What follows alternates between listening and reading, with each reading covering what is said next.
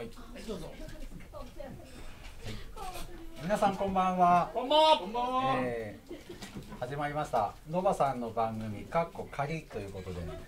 あのスタートしたんですけども、まあ回を重ねまして今年最後になります。えーよろしくお願いします。えーと今日ですけど、えー2020年、えー究極の開運習慣を身につけようトイレ掃除神社神社参拝墓参りのおすすめということで、えーやっていきたいと思います、えーといよいよね、まあ、このタイミングで、えー12月23日でやるということでね、あのーお時間をいただきましたので、まあ、何にしようかなと思ったんですけども昨日が冬至なんですよね。今年は22日が冬至でしたので。で、えー、と明日はクリスマスイブということででいつもの年でしたらこの、まあ、今日23日は勤労感謝の日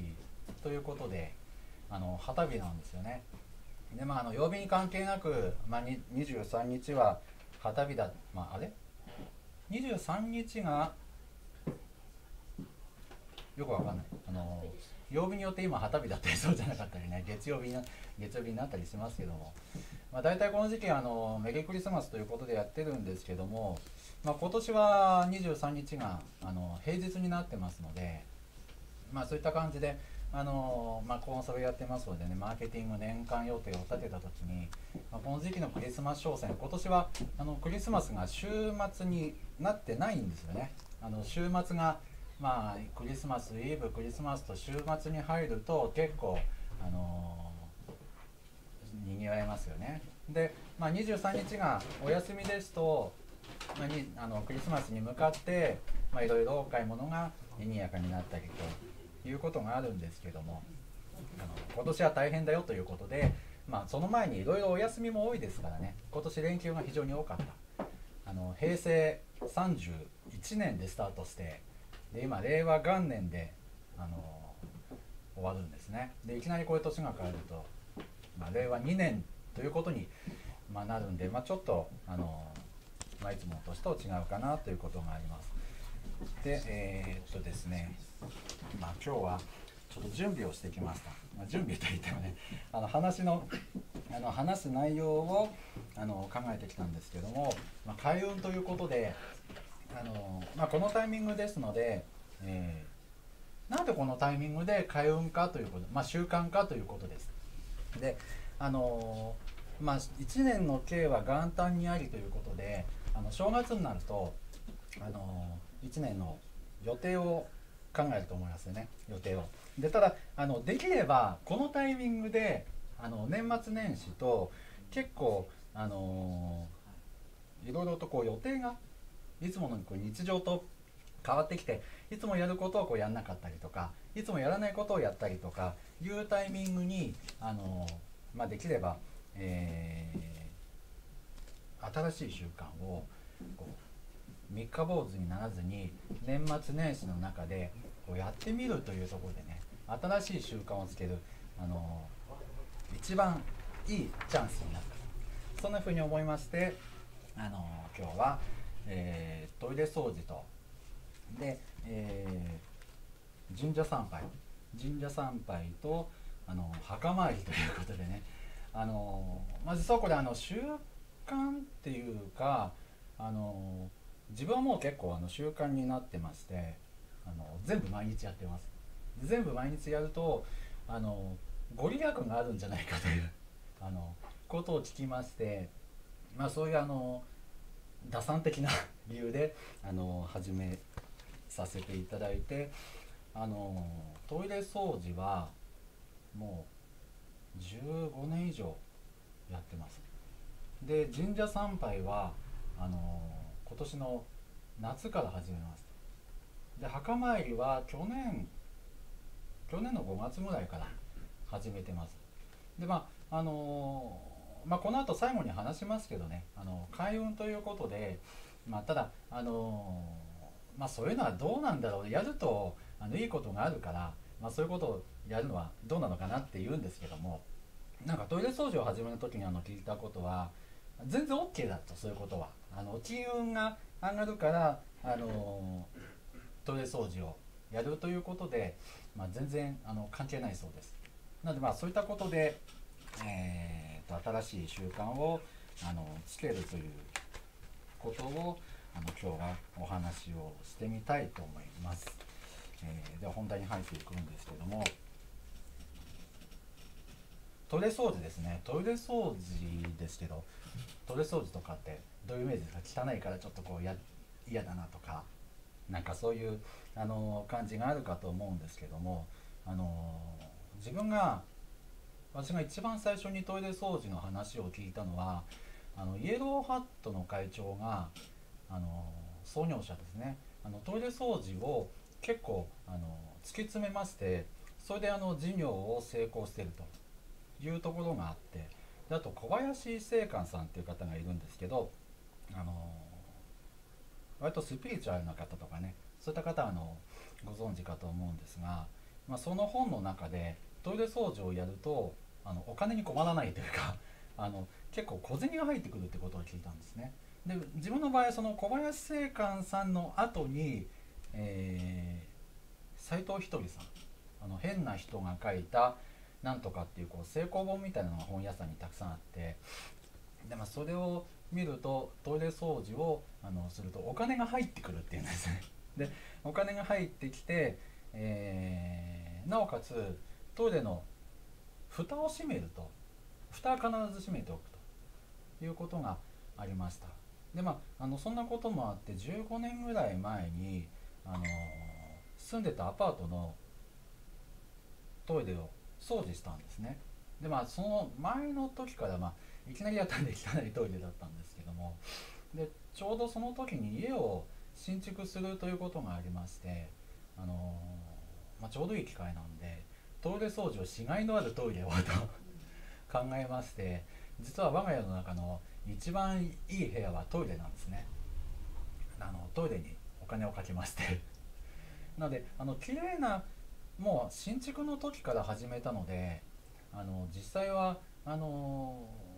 トイレ掃除も本当は汚いトイレにこう素手でガボッと手を突っ込んでいっぱいやると失神しそうになるんですけどもうそれをやるとなんか聞いた話だと涙がドバドバ出てきてあの開運するんだってことを聞いたんですね。まあ、それからするとあの私の場合はどっちかというとあのもう最初から綺麗な形のトイレを磨いてますのであの、まあ、実際にどのぐらいご利益が、まあ、習慣になりますその毎日毎日やるんですけどもどのぐらいご利益があの、まあ、実際あるのかっていうのは正直なところあのわからないんですけど、まあ、ただ、あの実際にですねあの収入的には結構カツカツだったりなんかしてあの車を辞めてたりした時期もあったんですね。でただあの仕事上、えー、自分が今、まあ、独立してるんですけどその前に最終的にお世話になっていた、まあ、会社その勤めのところでどうしてもやっぱり営業上車が必要で自分の車で 営業することが必要だっていうふうになった時に、まあ、80何万かな経図中古の自動車を80何万あの必要になったんですね。でまあ、あの結局その前のところを辞めてあのコンサルとして、まあ、会計事務所に入るという時に、まあ、自分の営業者を持って入るということだったんですけど、まあ、たまたまその再就職早期再就職手当みたいな そんなのが社会保険の制度にあってあの出たんですね。でそうしたら車の見積もりが88万8000何百あの89万かけるぐらいだったでそれが再就職手当が同時に出て89万円だったんですよ。それとかなんかあの良かれと思ってこう支出することに対してあの後から振り返ってみると同じぐらいの金額がなんか埋まってるんですね。なんかつまらない収入とかあって結構埋まってたりということであのなんかお金がジャブジャブ入ってくるということはあのないです。私の場合は。でただあのそうやって考えてみると、まあ、確かに困ったことないんですね。あのお客さんが、まあ、独立して、まあ、収入が無収入から始まってますけど毎月毎月の経費は出てくるんですが、まあ、ただポンとこう仕事が入ってきてあの結構高い肛門料で契約してもらってでつながったりとかね結構してます。えー、っとあ40分ですね。それであのトイレの神様聞いたことあります？トイレの神様ってあのいるんですね。であのうちの場合はそれをあのこんな風にしてトイレの中にまあこれ実際ははがきのポストカードサイズです。あの薄様明王っていうね神様っていうよりもこれ明王っていうのでなんかこう睨みを利かせてるね。あの神様とはちょっと違うんですけど、まあ、この神様の薄様明をお祭りしてこれはあの小林正観さんの本のよく表紙にあのイラストを描いてる斎藤悟さんっていうイラストレーターがいるんですよ。その方が描いてトイレの神様をイメージして薄様明なんですけどあの下に「オンクロダのうんじゃくそばか」ですかご神言が書いてありますねこれはオンクロダのうんじゃくそばかオンクロダのうんじゃくそばかとか言いながらブツブツ言いながらトイレ掃除をするといいというようなことがありましてこの可愛い明王様がトイレのベンチとトイレットペーパーとかを持ってるっていうね結構あのファンシーなあのこれがねトイレ掃除の特集本の付録についてまして それを切り抜いてコピーして増やしてうちの1階と2階のあのトイレにあの飾ってます。で毎日トイレを磨いてます。であとトイレを磨く時の注意としてあの蓋は必ず閉めるということがあります。で最初に言ったんですけどトイレ掃除ちょっと汚いなとかって思う方もいると思うんですけどトイレ掃除を徹底的にやるっていうのはこう出口ですからこう入り口で例えば食器はきれいにしてますよね口につくもので。それと一緒でうちの場合はあのー、もう便器も食器と変わらないぐらいあの清潔に保つというぐらいにあの考えてやってます。でこれうちのあのトイレなんですけどあの、こういった形で上の方にねあの薄様明王いらっしゃってここですね。こあこここですか。ここにあの、窓のところに額に入れて飾っています。であの、まあ、便器ですね。便器は自動の水洗のトイレなんですけども必ずあの蓋は閉めると。で中は徹底的に毎日きれいにしてますので、まあ、うちの場合は食器と変わらないレベルということであの意識してます。でこの薄様明王っていうのが、まあ、どういったご利益かっていうとあのご利益っていうよりもあのそもそもは火の神様かなんか。であの例えば本当だったらそういう風になるんだろうけどもそれをこう覆してくれるっていうような意味があるみたいです。ですからあの昔は例えば武家ですね武士の家であの男の子の跡取りが欲しいんですけど生まれてくるまで男の子が生まれるのか女の子が生まれるのかとわからない。そういった時にあのまあ今の時代でこういうこと言うとこうジェンダーの問題とかありますけどもあのぜひ男の子が欲しいということで薄さめをにこうお願いをすると。そうするとこう、まあ、本当は女の子が生まれるとこだったんですけども女の子になるというようなことがあるようです。まあ、それが転じて今あの結局トイレっていうのは出口ですけど、まあ、玄関もそうですけど出出にはこう入りがあってでまあ本来でしたらこういろいろ焼く災いになるようなことも、あの、それを覆してくれるっていうような意味も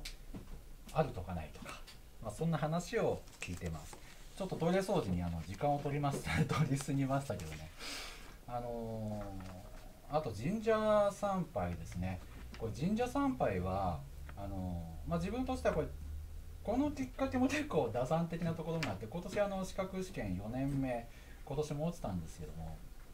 まあ、これを受ける時に、まあ、10月の最終試験の100日前になんか人から聞いて100日お参りしろとかって言われて、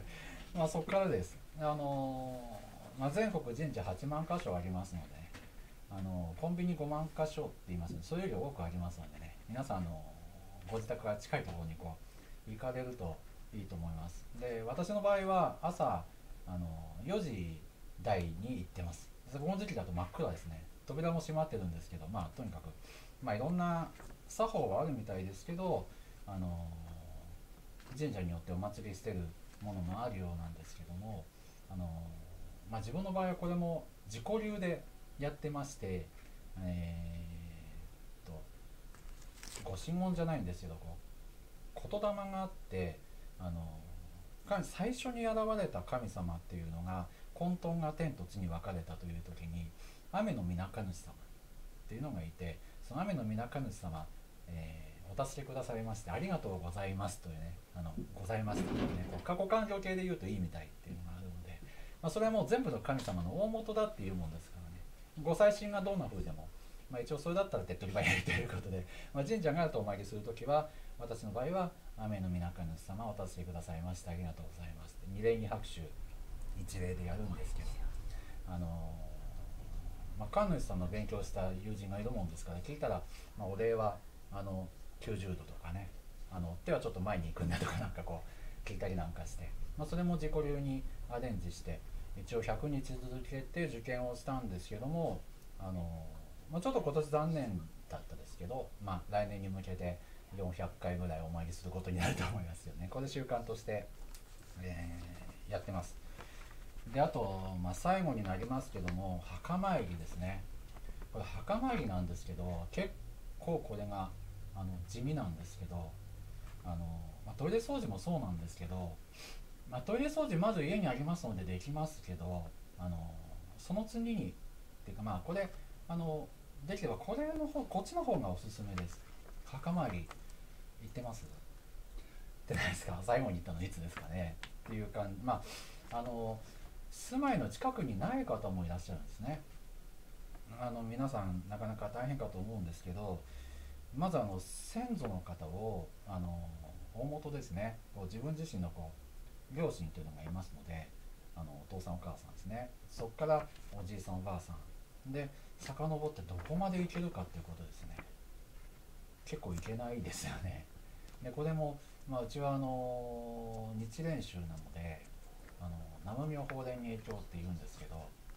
あのお墓に交代しまして、まあ、そういったこう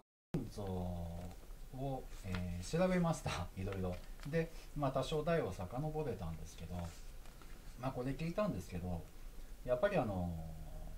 その先祖へのこう思いとかイメージとかどれだけご先祖のことを知るかっていう、まあ、自分の中にこう知ったっていうことですね。でこれがその自覚先祖に対してのこう自覚の度合いによってあの結構その迫力というかそういうものが出てくるっていうんですよね。地味な話なんですけどね。だからこう、まあ、いろんな人の器とかなんかってありますけどもあの金運じゃないみたいです。墓参りどんなにしても金運はつかないみたいなのであのその場合は神社に行ってくださいと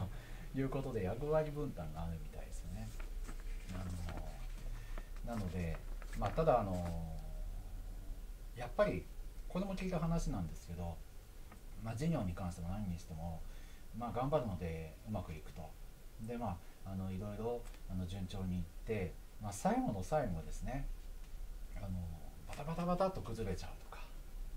っていうことがこう続く人がいるんですね。でも最後の最後にガラガラっとなるっていうのはやっぱりその辺りの根っこがねこうちゃんとしてないことがあるということで、まあ、その辺りはあのお墓参りに行くとこういいみたいですね。まあ、お願い事もしていいみたいです。あのよくお願い事をするなんて、まあ、神社の場合は感謝しろとかって言いますけどあの先祖の場合はやっぱり子孫にお願いをあのしてもらいたいようですですからあの、ま、例えば困ってることとかあのお墓に行って、えー、そういうことをあのやられるとあの、まあ、先祖としてもあそれじゃあ助けてあげよっていう気持ちになるみたいですね。まあ、そういうこともありますしであとあの意外に自分の場合は、えーと、先祖のことを知らなかったなってこともあるんですけどあのこれ根っこもそうなんですけどこう末というのもあるんですね。あの原因の因果でいうと因の部分としては先祖でただあのかの部分で、まあ、自分には子供がいないんですけどということは孫もいないんですけどあのおじさんおばさんにはいとこがいて、まあ、兄弟には、まあ、あのおいとか姪とかいますのでね。まあ、そういった方をこう広げていくとあの私も本家のお墓をお参りする。自分の家をお参りする。おじさんのお墓が隣にあるのでそっちもお参りする。で母方もお参りする。という時に、まあ、それぞれのあのいとことかの名前とか、まあ、そのご主人の名前奥さんの名前とかも意外とね言えないんですよね。でその子供の名前全部言えますか言えないんですよね。でそれもやっぱりねあの知っとくべきです。言えるようにしとくべきです。まあそういうようなことも全部イメージしながらあの墓っていうものをねお参りするっていうことをやってみるといいと思います。であの自分の場合も1年こう明るくなったり暗くなったりするので朝行ける時期は夏は朝行ったりとか行けないとあの冬は夕方あ行けないとかってなるんですけど最近はもう割り切ってもう生き慣れてるのでもう4時台に家を出ると真っ暗い中墓地を歩いてやってます。でも手元も何も見えないんですけど大体でそうするとあのお寺の日常ってもう1年時間決まってるんですね。で5時前になると住職が出てきて、えーと、駐車場の掃き掃除をしてるんですけど見ると足元手元見えてないんですよ。それでも型でやってるんですよね。でそあそれでいいんだなっていうことであの自分もあの、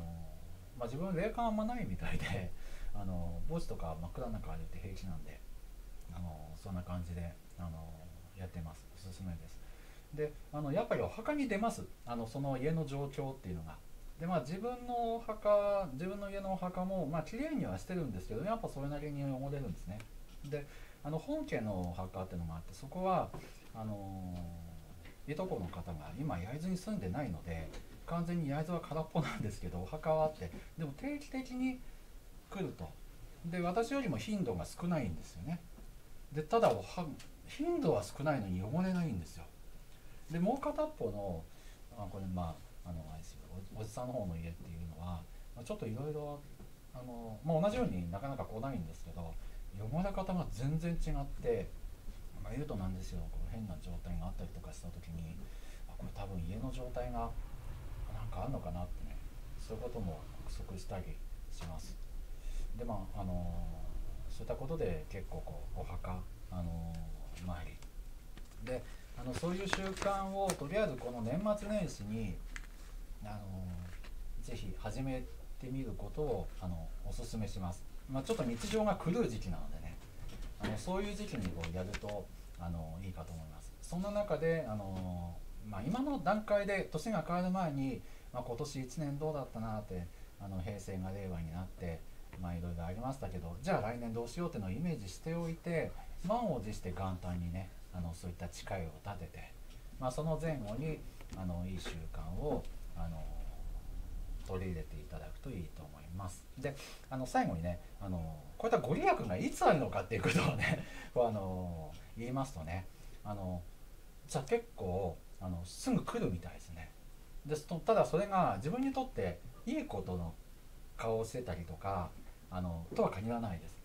でただなんか変化が起きてくるみたいです。でただそれにこう普通のさ鈍感なので気づかないみたいなんですけどちょっとしたことでこう信号が青が続くとか そういったことでも影響してくるみたいですねであとこうなんかあの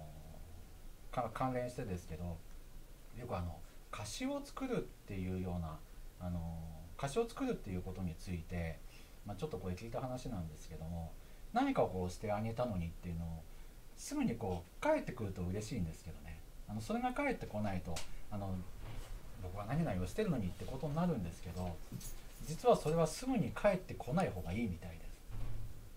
歌詞を作るっていうかね。ですぐに返ってこないってことは何かしてあげた相手じゃなくて別の人から回り回って時間差タイムラグがあればあるほど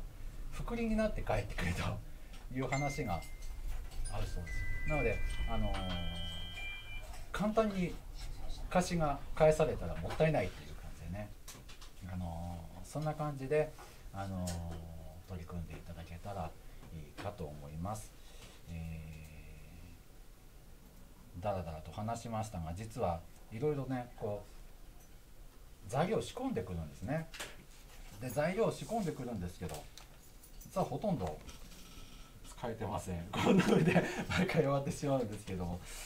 えー、とそろそろ5分前になりますので、えー次の番組の紹介ということで、あもう来ていらっしゃいますね。えーじゃあ次の番組ですけども一応こんな感じで、えー6時から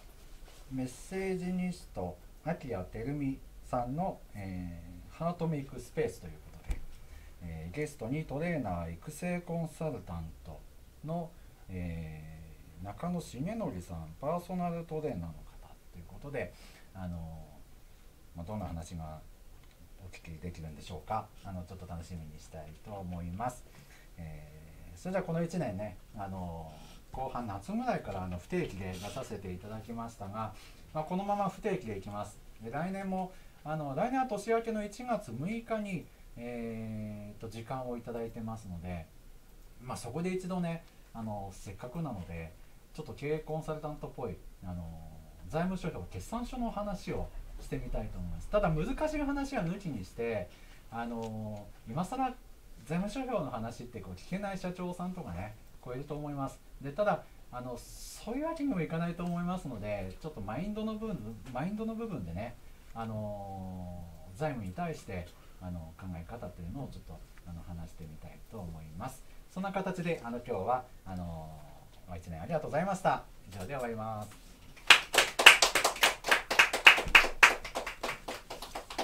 次の番あ次の番組。はい